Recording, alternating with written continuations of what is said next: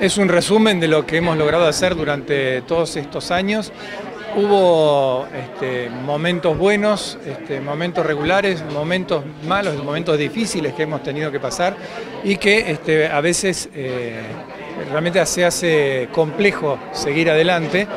Eh, hoy no estamos en el mejor momento, nosotros sabemos que esto es así, pero este, bueno, hay un montón de cosas que se lograron hacer durante estos seis años, eh, que significa el mejoramiento de la calidad de vida de muchos vecinos de nuestra ciudad, en distintos lugares de la ciudad este, y en distintos ámbitos, eh, desde obras que son casi cemento, como un pavimento, casi todo cemento, hasta las plazas, los espacios verdes, programas culturales, programas deportivos, lo que es asistencia social, lo que no se puede mostrar en foto, como les decía yo, este, pero que son trabajos muy importantes que se hacen, este, y todo con una, gracias a una administración prolija y eficiente que hemos logrado durante todos estos años eh, en, en, lo que es la Municipalidad de Esquel, que permite que el impuesto que se le cobra a los vecinos, que es un impuesto relativamente bajo, en comparación a otros, a otros lugares del país y a otros tributos nacionales o provinciales, eh, bueno, permite que muchos, hace que muchos puedan pagar y que esto pueda volver en servicios y en obras para la gente. Eh, sí, sí, esto es así y, está bien que sea así. Este,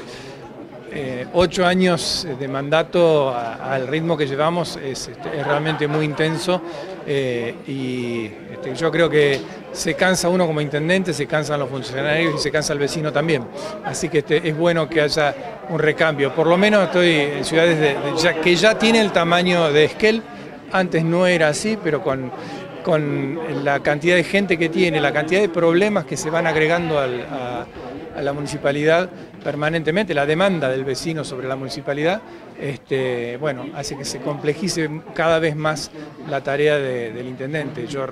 tengo la experiencia de, por mi padre que gobernó una municipalidad totalmente distinta a la que me toca a mí, este, totalmente distinta a la de Rafael Williams, este, y esta creo yo que es mucho más compleja en muchos aspectos, porque cada día vamos abordando un tema más, un problema más, que antes por ahí ni siquiera existía o no se pensaba que la municipalidad lo aborde, y hoy este, eh, se hace. Como ejemplo siempre pongo lo que es la, Dirección de Género Municipal, este, que eh, eh, cuando yo comencé solamente había un Consejo de la Mujer, que era lo que hasta ese momento era suficiente y hoy hay una dirección de género con un montón de profesionales y un abordaje profesional este, de, esta problemática que es este, muy seria, muy dolorosa. No, a ver, esto lo hicieron, lo dije al principio,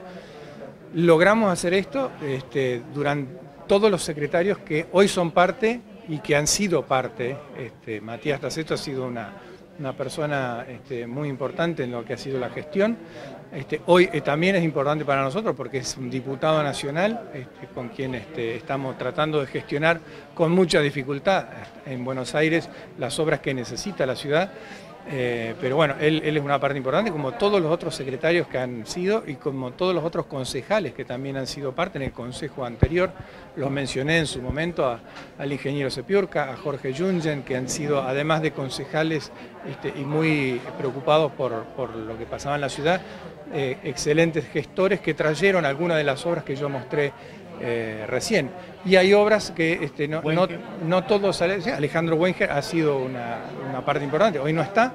este, ha, decidido dar un paso al costado, pero este, eh, esto lo hemos hecho entre todos este, y, lo vamos a seguir haciendo así hasta el, hasta el 2023. Esperemos que sea así, esperemos que este censo eh, dé la sensación que indique lo que somos realmente como ciudad. El censo anterior este, a todos este, nos dio la sensación de que no era la realidad el número que mostraba y que le significó a muchas ciudades del país, inclusive Esquel, pérdida este, en lo que es la coparticipación federal de impuestos. Eh, y destaco que esto es, una, eh, una línea de acción, una política de Estado, más allá, hasta ahora ha sido así, más allá de quién gobierne y quién sea el, intendente qué partido sea, eh, el manejo ordenado de las cuentas públicas. este, que me permitió eh, a mí, así como Rafael Williams recibió la municipalidad ordenada, a mí también me permitió, recibiendo la municipalidad ordenada, encarar rápidamente las obras que necesitaba la ciudad. Y esto se hace este, con cuentas ordenadas, que lo hacemos en contextos muy adversos. Eh, en su momento le tocó a Rafael Williams, con momentos complejos, eh, le tocó esta pérdida de coparticipación, que no sé cuánto significó en su momento, y este, a nosotros nos toca también otro momento muy complejo a nivel nacional y a nivel provincial, con todo lo que ya sabemos, este, el, no pago, el atraso en el pago de sueldos de los empleados públicos provinciales, la altísima inflación que tenemos, este, y pese a eso hacemos, estamos haciendo todas estas obras que estuvimos mostrando aquí sin endeudar a la municipalidad, eh, sin este, comprometer el futuro de las próximas gestiones, que es comprometer el futuro de este, los esquelenses. Esto este, es una marca registrada, una tradición que tenemos hasta ahora todos los gobiernos del 83 para acá, que no endeudamos innecesariamente a la municipalidad. Eh, y espero que esto se mantenga esa tradición, el próximo intendente, sea quien sea, la mantenga así, porque le permite a la municipalidad dar respuesta a los vecinos como lo hacemos.